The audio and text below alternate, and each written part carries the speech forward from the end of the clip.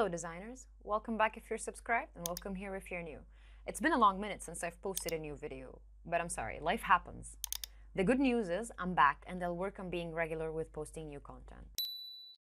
In today's video, I'll show you a nifty little trick that I discovered by accident. This trick will save you multiple hours and a lot of stressful moments spent trying to get a high quality detailed rendered image out of a large and intricate scene.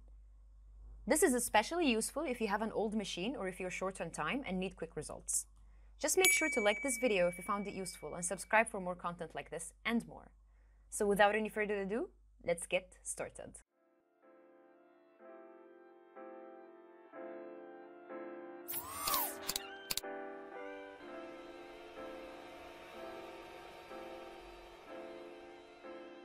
To begin this video, I'll tell you a little story. About a year back, I created a scene with a nautical beam and the afternoon light coming in through the window. It's a pretty sight and I love this scene a lot.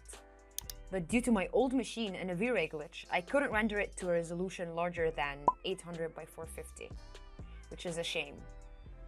So I'm going to be using the Soul Render as a guinea pig for today's tutorial. It's quite blurry and you can't see the details as clearly as I'd like. It also has this glitch in the clouds that looks like a highlight burn, so before doing anything else to it, I'll just hop into Photoshop to blur this glitch out a bit.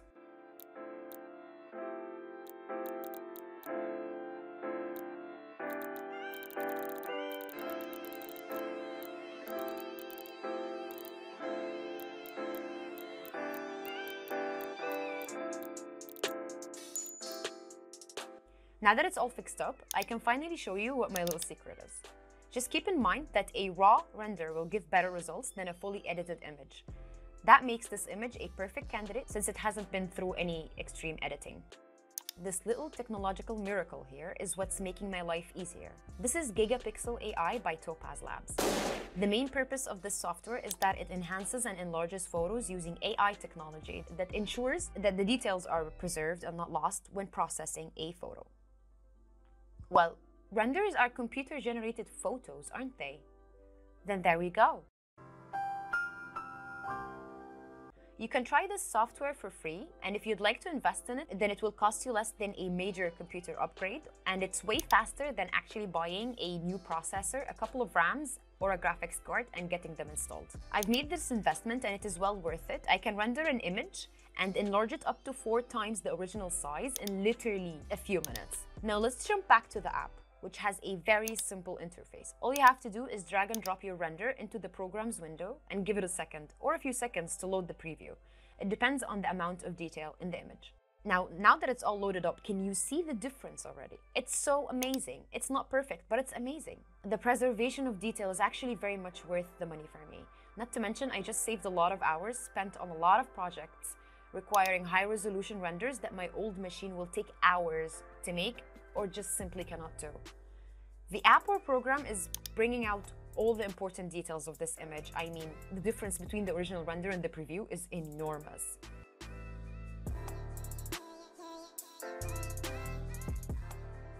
You can, of course, change the zoom to preview either a smaller or larger sample of the image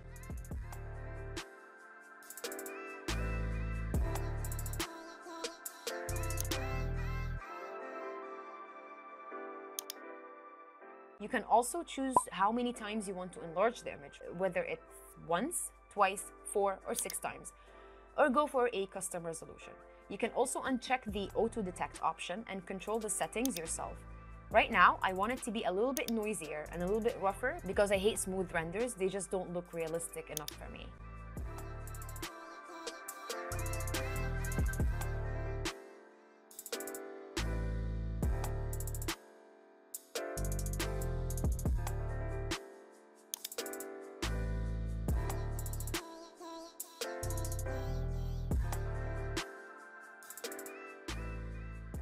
There we go. It looks a tad better now.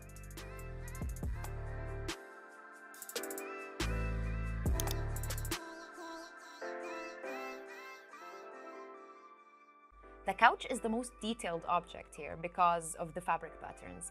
Look how beautifully detailed everything is now. The fabric, the flooring, the wallpaper, bamboo, and painting. It's perfect, as if I just saved it from V-Ray itself. The original resolution of this image is 800 by 450 as I mentioned, which is at best a test render image. The new image will be 3200 by 1800, which is four times larger. Once you're satisfied with the results, you can click the Save button and a clear and simple interface will come up. You can change your save directory as either source, which is the same folder as the original image, or choose a custom directory. You can also change the image's format to one of your choosing. Just know that it doesn't support a VRMIG or a VRIMG image format because only V-Ray does that. I'll pick the destination where I want to save my image, which will be the desktop. You can also choose your color profile if you know your stuff. I'm clueless in this department, so I'll just keep it as sRGB. Once you click save, the program will start processing the image and doing its magic.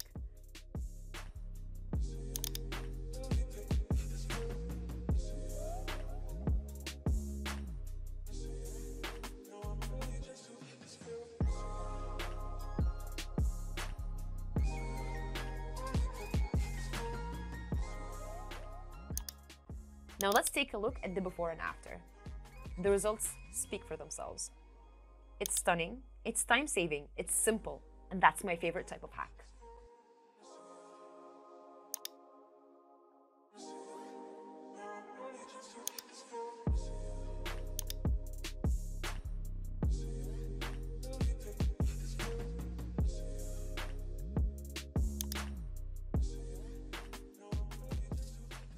Another great thing about this program is the batch function, where you can enlarge multiple images all at once. You can select the images you want to enlarge and drop them into the window. You can just select all the images that you want to enlarge and drop them into the window. From there, you can click each image to be previewed separately and tweak them to perfection.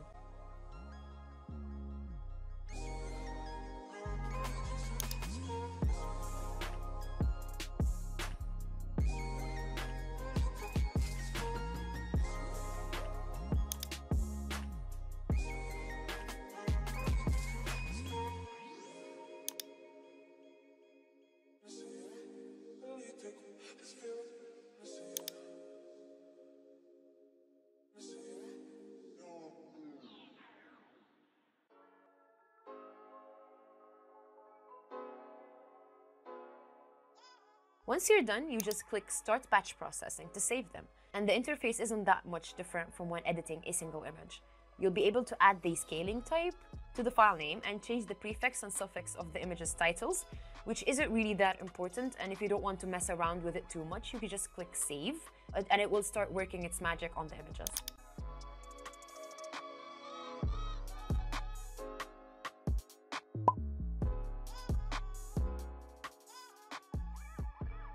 Here's the before and after. I took the liberty of adjusting the brightness so the details are clearer and the results look better.